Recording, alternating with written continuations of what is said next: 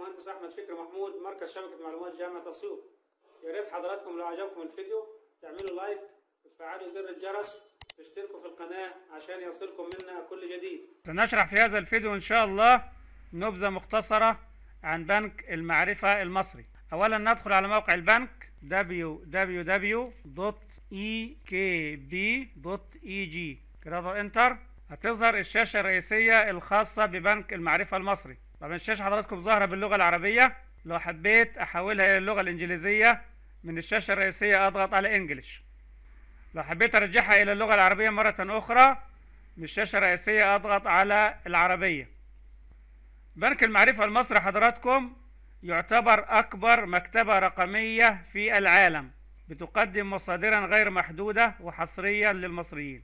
بنك المعرفة المصري دي عبارة عن مبادرة أطلقها السيد الرئيس عبد الفتاح السيسي وذلك خلال العيد القومي للعلم عام 2014 يتضمن حضراتكم بنك المعرفة المصري أربع بوابات فرعية. أولا البوابة العامة للناس بتوفر حضراتكم الوصول إلى جميع الموارد العامة وآخر الأخبار في كل مجال وبها آلاف الكتب والفيديوهات التعليمية في المجالات العامة. دي طبعا عشان أسجل في هذه البوابة اللي هي البوابة العامة تتطلب فقط بطاقة الرقم القومي. البوابة الثانية حضراتكم اللي هي بوابة الخاصة بأساتذة الجامعات والطلاب اللي بتوفر كل المصادر الأكاديمية. بالإضافة إن أنا بتخليني ممكن أوصل إلى البوابات الأخرى.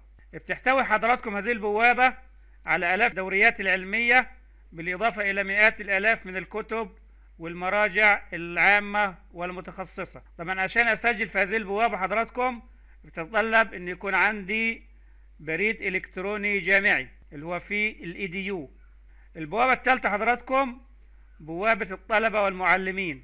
دي بتوفر مصادر تعليمية خاصة تتوافق مع المنهج الدراسي.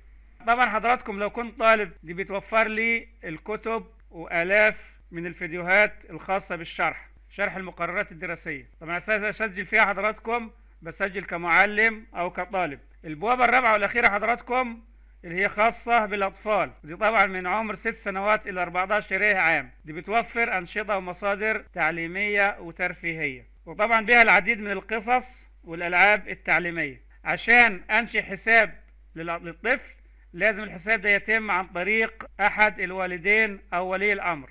كما يوجد في بنك المعرفة المصري حضراتكم مئات من ورش العمل والندوات التدريبية مقدمة من أفضل بيوت الخبرة. يعني في ورش عمل تدريبية حضراتكم لأعضاء التدريس في مصر. مقدمة من أفضل بيوت الخبرة العالمية. فأنا ممكن أسجل في أي ورشة تدريبية أو أي دورة تدريبية. يبقى حضراتكم بنك المعرفة المصري أهم شيء إنه بيتكون من أربع بوابات فرعية. اللي هي بوابة عموم القراء لو عامة الناس وبوابة أساتذة الجامعات وبوابة الطلبة والمعلمين وبوابة إيه الأطفال. سنشرح في فيديوهات قادمة إن شاء الله كيفية التسجيل سواء كنت طالب جامعي أو أستاذ جامعة. ودي حضراتكم كانت نبذة مختصرة عن بنك المعرفة المصري لو ايجيبشيان نوليدج بانك أتمنى أن يكون الشرح واضح مفهوم نراكم على خير. والسلام عليكم ورحمة الله وبركاته.